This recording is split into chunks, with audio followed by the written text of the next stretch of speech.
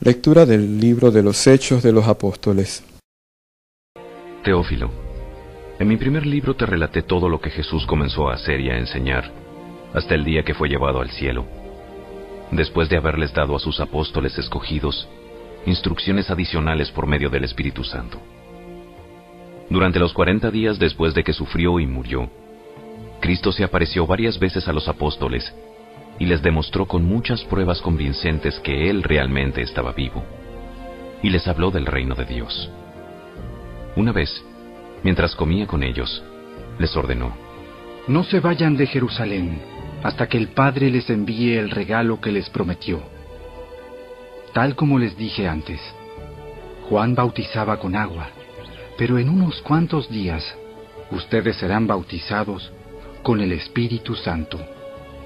Así que mientras los apóstoles estaban con Jesús, le preguntaron con insistencia, Señor, ¿ha llegado ya el tiempo de que liberes a Israel y restaures nuestro reino? Solo el Padre tiene la autoridad para fijar esas fechas y tiempos, y a ustedes no les corresponde saberlo. Pero recibirán poder cuando el Espíritu Santo descienda sobre ustedes, y serán mis testigos y le hablarán a la gente acerca de mí en todas partes, en Jerusalén, por toda Judea, en Samaria y hasta los lugares más lejanos de la tierra. Después de decir esto, Jesús fue levantado en una nube mientras ellos observaban, hasta que ya no pudieron verlo. Mientras se esforzaban por verlo ascender al cielo, dos hombres vestidos con túnicas blancas de repente se pusieron en medio de ellos. Hombres de Galilea, ¿Por qué están aquí parados, mirando al cielo? Jesús fue tomado de entre ustedes y llevado al cielo, pero un día volverá del cielo de la misma manera en que lo vieron irse.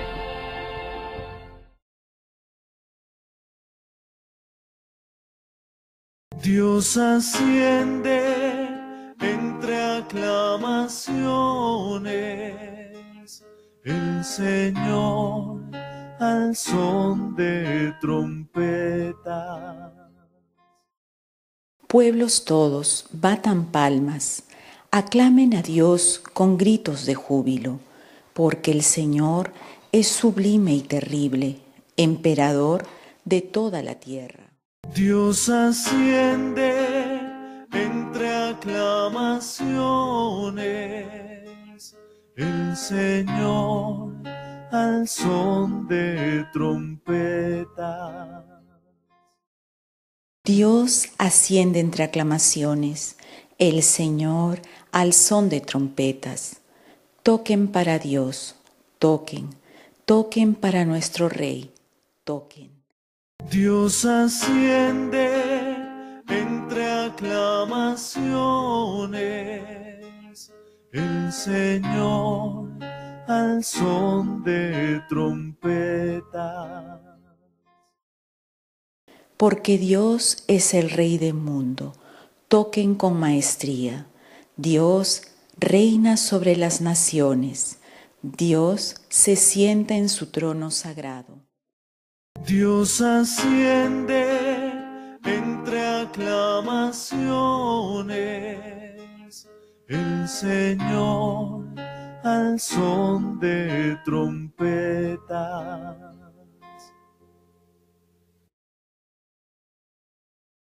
De la carta del apóstol San Pablo a los Efesios. Hermanos, pido al Dios de nuestro Señor Jesucristo, el Padre de la Gloria, que les conceda espíritu de sabiduría y de reflexión para conocerlo. Le pido que les ilumine la mente para que comprendan cuál es la esperanza que les da su llamamiento Cuán gloriosa y rica es la herencia que Dios da a los que son suyos, y cuál la extraordinaria grandeza de su poder para con nosotros, los que confiamos en Él, por la eficacia de su fuerza poderosa.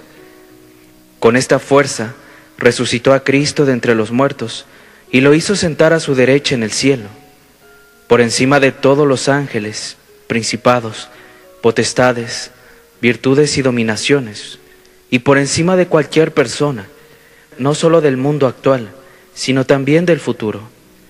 Todo lo puso bajo sus pies y a él mismo lo constituyó cabeza suprema de la iglesia, que es su cuerpo, y la plenitud del que lo consuma todo en todo.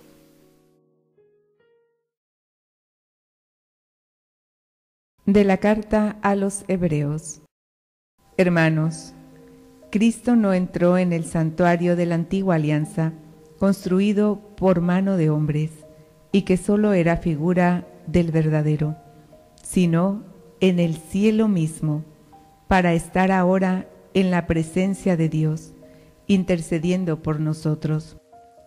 En la antigua alianza, el sumo sacerdote entraba cada año en el santuario para ofrecer una sangre que no era la suya.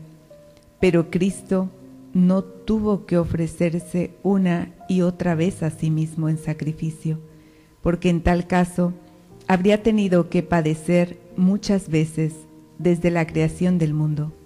De hecho, Él se manifestó una sola vez en el momento culminante de la historia para destruir el pecado con el sacrificio de sí mismo. Y así, como está determinado que los hombres mueran una sola vez y que después de la muerte venga el juicio, así también Cristo se ofreció una sola vez para quitar los pecados de todos. Al final, se manifestará por segunda vez, pero ya no para quitar el pecado, sino para la salvación de aquellos que lo aguardan y en él tienen puesta su esperanza. Hermanos, en virtud de la sangre de Jesucristo, tenemos la seguridad de poder entrar en el santuario, porque Él nos abrió un camino nuevo y viviente a través del velo que es su propio cuerpo. Asimismo, en Cristo tenemos un sacerdote incomparable al frente de la casa de Dios. Acerquémonos pues con sinceridad de corazón, con una fe total, limpia la conciencia de toda mancha y purificado el cuerpo por el agua saludable. Mantengámonos inconmovibles en la profesión de nuestra esperanza, porque el que nos hizo las promesas es fiel a su palabra. Evangelio según San Mateo. Luego los once discípulos marcharon a Galilea, al monte que Jesús les había indicado ir. Y al verle, le adoraron. Pero algunos dudaron. Jesús se acercó a ellos y dijo, Todo poder en el cielo y en la tierra me ha sido dado. Id pues y haced discípulos a todos los pueblos bautizándolos en el nombre del Padre y del Hijo y del Espíritu Santo, enseñándolos a obedecer lo que os he mandado. Y yo estoy con vosotros todos los días, hasta el fin del mundo.